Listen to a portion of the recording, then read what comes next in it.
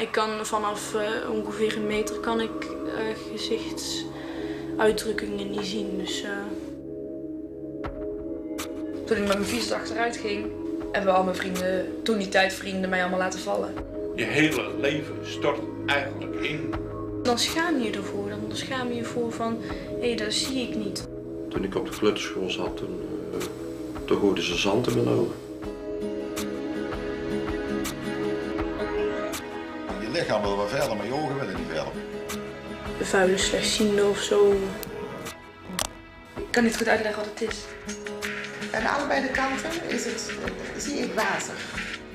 Als ze me aan mijn ogen komen, dan word ik woest. Maar als ik recht naar u kijk, dan zie ik u niet. Je voelt je een, een enorme nietsnut.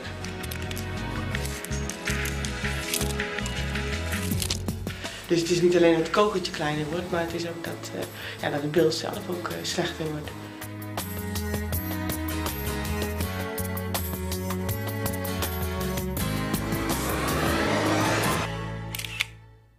Kijken doen we met onze twee ogen.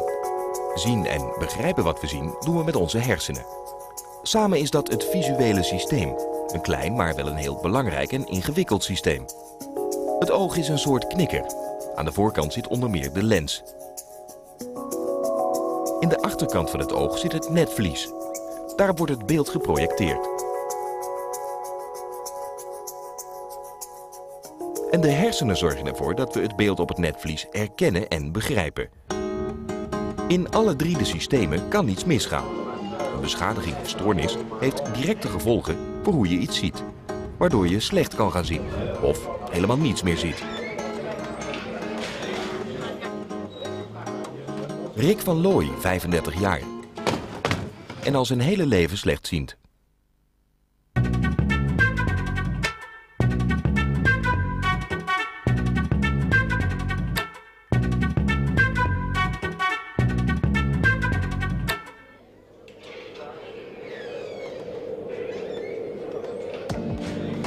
Iemand die slechtziend is, kan meestal nog wel wat zien.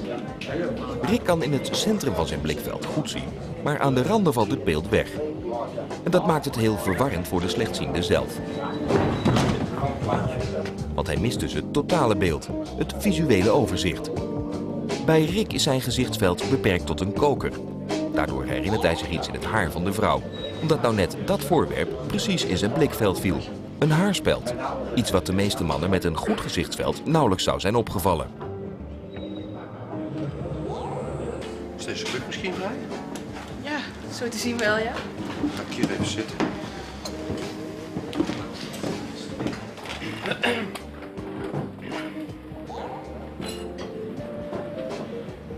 Het oog, het kijken en het zien is te vergelijken met de werking van een fotocamera, met een fotorolletje en met het ontwikkelen van een fotorolletje. De fotocamera neemt het beeld op. Het fotorolletje legt het beeld vast. En pas na het ontwikkelen van het rolletje zien we waar we naar gekeken hebben. Zit er ergens in de camera een beschadiging of werkt er iets niet goed, dan zie je dat op de foto's terug. Een kras op de lens bijvoorbeeld zie je op elke foto terug. Als de sluiter niet goed werkt, dan is de foto over- of onderbelicht. Maar ook als de film zelf beschadigd is, of als er tijdens het ontwikkelen iets misgaat, dan zijn de foto's niet al te best. Onze ogen, of beter ons visuele systeem, werkt net zo. In elk van deze drie systemen kan zich een storing voordoen.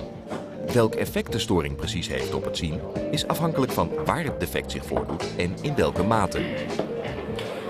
Mag ik je misschien iets te drinken aanbieden? Ja. Ja, leuk. Harm, Jus d'orange, alsjeblieft. mag ik een koffie en een jus d'orange? Wat heb je toch een leuke speld in? Dankjewel. Wat was het eerste wat ik zag toen ik achter je langs liep? Het is voor het eerst dat de man iets over mijn haarspeld zegt. Ja, dat is eigenlijk het eerste wat me opviel. Ik vind het wel apart. Ik zie jou daar vallen over die stoel. Je valt daar over dat opstapje. En je ziet wel mijn haar. Ja, dat is een kwestie van selectief kijken natuurlijk. Hè.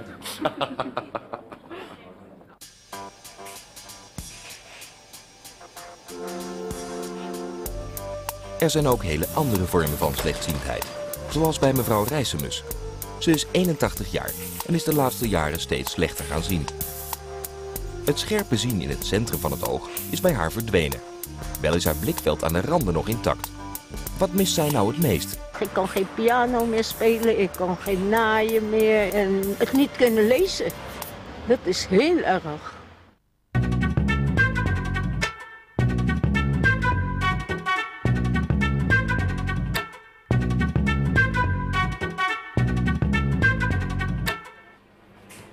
Boodschappen doen lukt gelukkig nog wel. Haar vorm van slechtziendheid is bijna omgekeerd aan die van Rick. Hij ziet in het midden van het gezichtsveld wel goed, maar aan de randen niets. Mevrouw Rijsemus ziet juist alleen nog iets in de randen van haar gezichtsveld. Daardoor kan ze redelijk goed in de verte kijken, maar gezichten herkennen van dichtbij is moeilijk of zelfs onmogelijk. Het scheppen van spruitjes in een plastic zakje lukt nog net.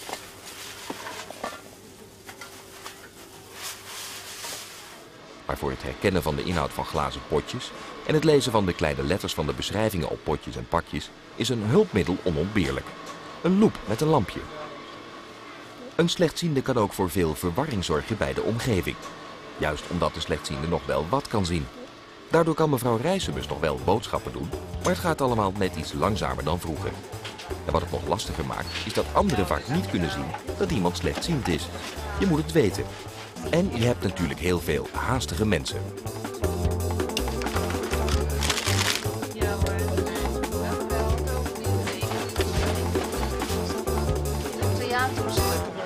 Ja, ogenblikje, want ik uh, kan niet goed zien, dus het duurt even lang.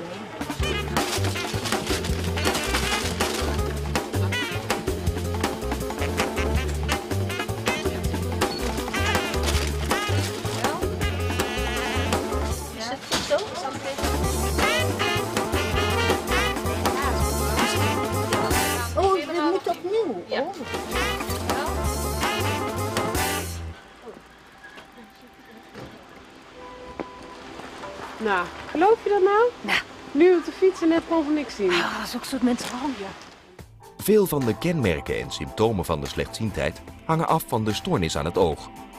We zagen al bij Rick en mevrouw Rijsemus dat soms delen van het blikveld wegvallen.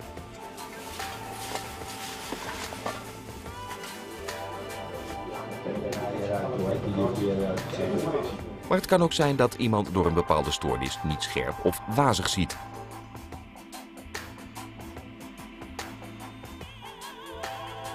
Of niet of nauwelijks kleuren meer ziet. Of geen contrasten meer ziet.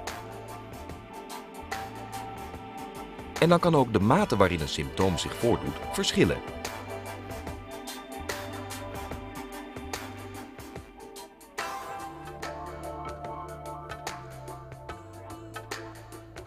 En om het nog gecompliceerder te maken, ook bijna elke denkbare combinatie van deze symptomen komt vaak voor.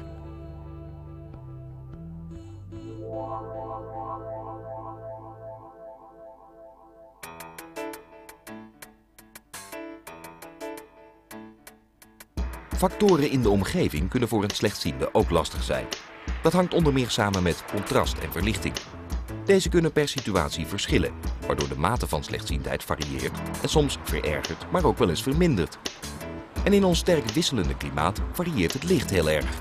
Soms schijnt de zon niet. En soms wel.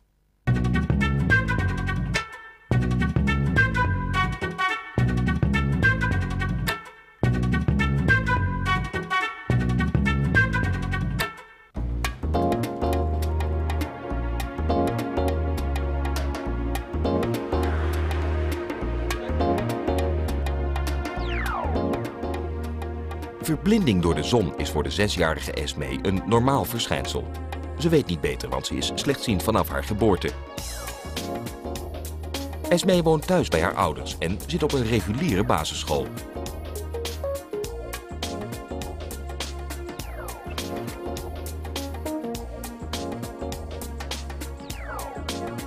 Om haar zo goed mogelijk onderwijs te geven, worden zowel Esme als haar juffrouw speciaal begeleid.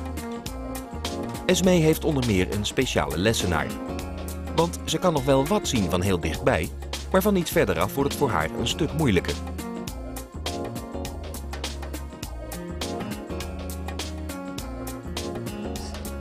In haar klas zitten voor de rest alleen maar goedziende kinderen. Daarom is het voor de juf lastig om zich telkens weer te realiseren wat Esme nu precies wel en niet ziet en begrijpt.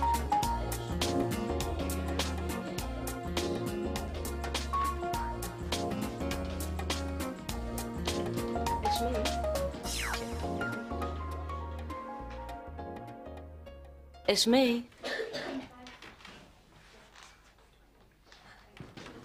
Esmee, kom je op even? Ik kom even.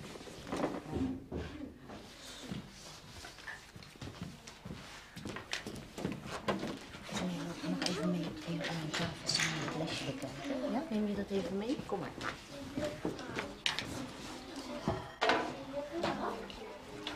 Moet je even samen met mij, ik wil even dat lesje met je lezen. Oma. Nou was dit nog simpel op te lossen, maar het kan ook moeizamer aflopen. Wat het er niet altijd makkelijker op maakt, is dat je als slechtziende ook gewoon wil meedoen. Goed gewerkt, prima. Dat geldt ook voor Rick. Gewoon nog even de kroeg in, kijken wie er is. Rustig om je heen kijken. Op zoek naar bekenden en mensen die je leuk vindt. Misschien zie je er wel, dat meisje. Josette heette ze. Ook al heb je eigenlijk veel last van de dichte gordijnen, te weinig licht. Het is eigenlijk iets te donker, maar gewoon net doen alsof je er geen last van hebt. Een praatje maken moet kunnen.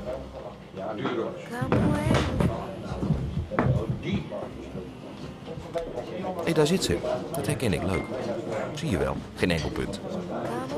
Voor Rick gaat het nu wat pijnlijk worden. Wat een speld al niet kan doen. Hallo?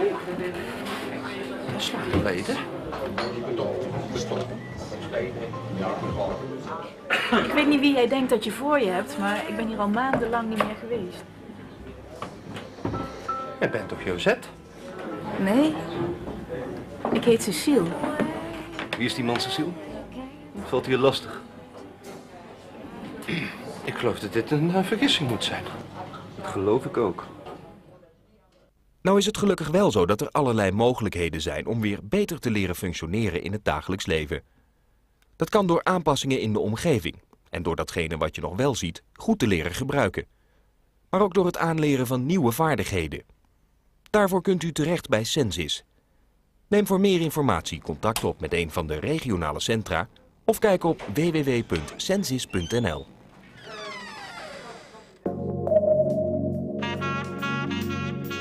In het begin had ik ook het idee, eh, dat was twee jaar geleden, dat als ik op straat liep, dat iedereen me aankeek van, hé, hey, die is slechtziend. Maar dat zien ze niet, want ik val nergens overheen. Ja, het is niet leuk. Maar dan kan ik nou wel om gaan zitten treuren. Maar dat helpt zo weinig, hè. Er is niks meer aan te doen. Dus ik moet maar leven met wat ik heb. En wat ik nog zie, ben ik altijd elke dag dankbaar voor weer.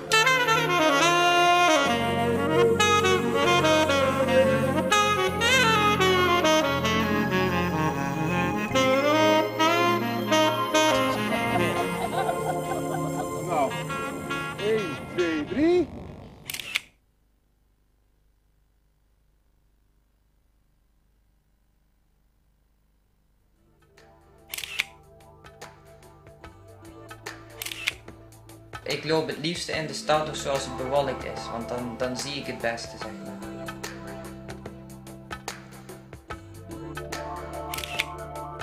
Dus ik probeer toch alles een beetje van afstand eh, te bekijken. Dan heb ik nog het meeste gezichtsveld. Licht, licht en nog eens licht.